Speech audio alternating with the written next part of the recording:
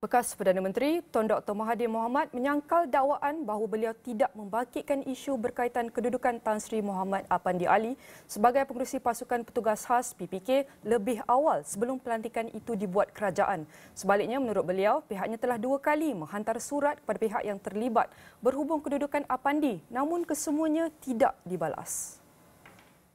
Jelasnya bekas peguam negara itu tidak wajar dilantik sebagai pengurusi PPK bagi kes ini memandangkan ia akan melibatkan konflik berkepentingan.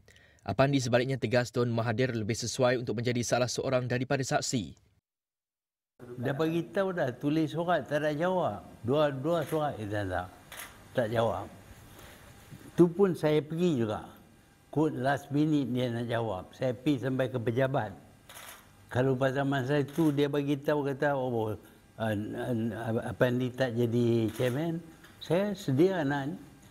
Hari ini pun kalau dia tukar orang yang tak ada konflik of interest, saya sedia nak bagi maklumat apa pun boleh tanya. Dr. Mahathir berkata demikian ketika ditemui media selepas pertemuan bersama pengusaha-pengusaha feri Langkawi di sebuah hotel di Kuah Langkawi pada Rabu.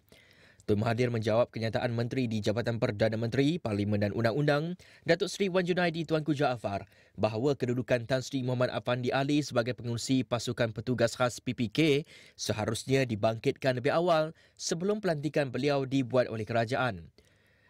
Tun Mahathir hadir untuk memberi kenyataan semakan Undang-Undang Kes Kedaulatan Batu Putih, Batuan Tengah dan Tubir Selatan bersama jawatan kuasa kecil Thought of Misfeasance pada Selasa.